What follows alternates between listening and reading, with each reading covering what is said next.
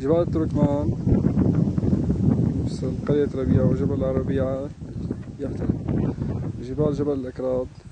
أيضا تم إحراقها. وهي الآن محترقة اليوم الثالث على التوالي. يوم الثالث عشر على التوالي.